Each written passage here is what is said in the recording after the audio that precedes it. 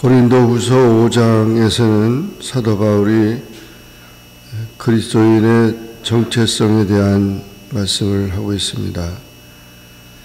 1절부터 10절에는 땅의 장막과 하늘의 집에 대해서 말하고 있는데 만일 땅에 있는 우리의 장막집이 무너지면 하나님께서 지으신 집, 곧 손으로 지은 것이 아니요 하늘에 있는 영원한 집이 우리에게 있는 줄 아느니라.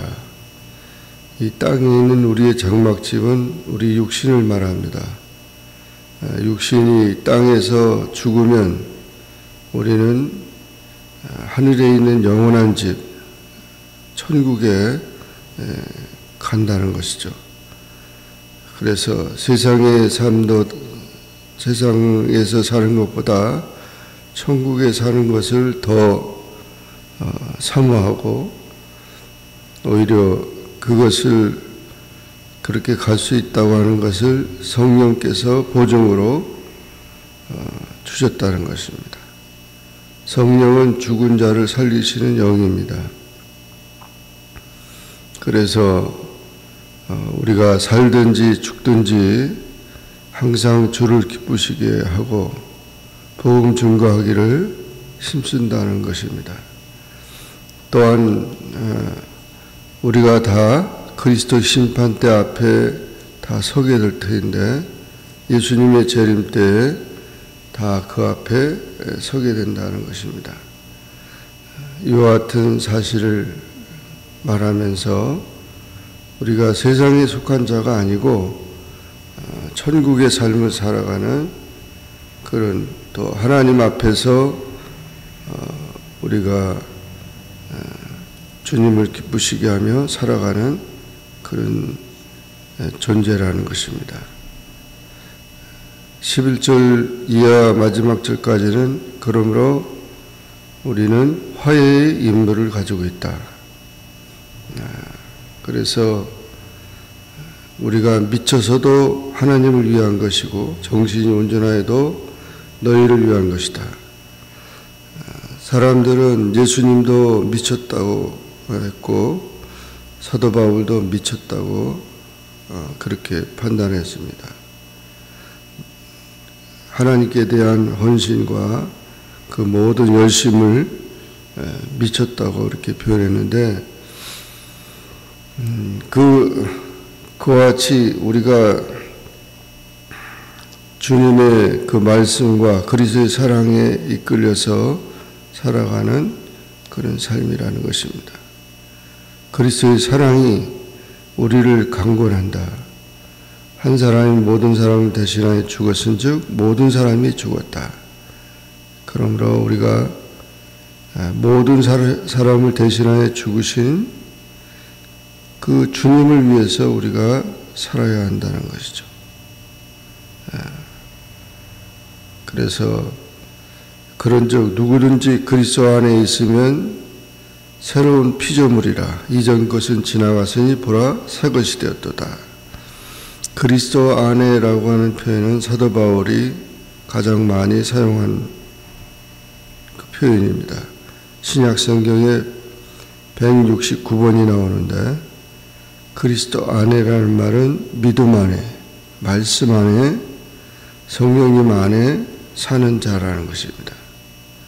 그런 자는 새로운 피조물이라 아, 이전 것은 지나갔으니 옛 사람은 지나가고 새로운 피조물이라는 말은 새 사람이 되었다는 것. 아, 그것은 새로운 창조라고 하는 창조의 의미를 가지고 있습니다. 아, 그래서 새 사람이 새 사람이 되었기 때문에 그리스도 안에서 새 사람이 된 그 그리스도인은 그리스도로 말미암아 하나님과 화목하게 되고 또 어, 모든 사람과 화목해 하는 그런 말씀을 우리에게 부탁했다. 그래서 너희는 하나님과 화목하라. 그리스도의 대사로서 우리는 사명자로서 살아가야 한다는 것을 말해주고 있습니다. 이제는 구원받은 자로서 오직 하나님과 성도를 위해서 살아가는 그리스도의 사랑에 이끌려서 살아가는 그런 어, 삶을 살아가는 것이라는 것입니다. 네. 그래서 우리가 사는 어, 삶은 세상을 위한 삶이 아니고 하나님 나라를 위한 삶이고 또 우리가 이제 옛 사람을 벗어버리고 새 사람이 되었기 때문에 그리스도 안에서 날마다 아, 우리가 아, 그리스도의 사랑 안에서 아, 이런 모든 사명을 감당하는 것이라 그렇게 말한 것입니다. 이와 같은 정체성을 확실히 가지고 항상 기쁨으로 주님을 섬기며 살아가는 우리 모두가 되기를 주의 이름으로 축원합니다. 기도하겠습니다. 사랑의 주님 감사합니다. 오늘도 주님 앞에 나와 기도하게 하시고 주의 말씀을 상고하게 하시니 감사합니다. 고린도후서 5장의 말씀을 통하여 우리가 사는 것이 땅에 무너지는 장막집이 아니고 하늘의 영원한 집을 바라보고 천국의 소망을 가지고 항상 살든지 죽든지 주님을 기쁘시게 하고 또한 하나님과 화목하며 모든 사람과 모든 사람을 섬기면서 주님의 복음을 위해 사는 그리스도의 대사라고 하는 사실, 사명자라는 사실을 깨닫고 날마다 새로워지는 그런 은혜가 넘치게 하여 주옵소서. 예수님의 이름으로 간절히 기도하옵나이다.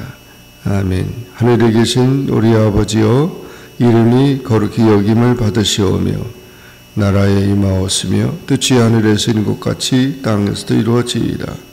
오늘날 우리에게 일용할 양식을 주옵시고 우리가 우리에게 죄전자를 사하여 준 것 같이 우리 죄를 사하여 주옵시고 우리를 시험에 들게 하지 마옵시고 다만 악에서 구하옵소서 대개 나라와 권세와 영광이 아버지께 영원히 있사옵나이다. 아멘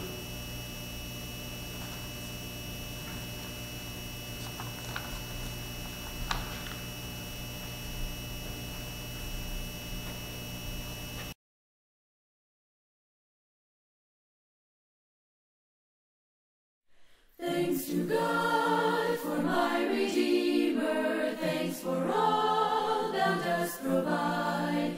Thanks for times now but a memory. Thanks for Jesus by my side. Thanks for pleasant balmy springtime. Thanks for dark and dreary fall. Thanks for tears by now forgotten. Thanks for peace within my soul. Thanks for prayers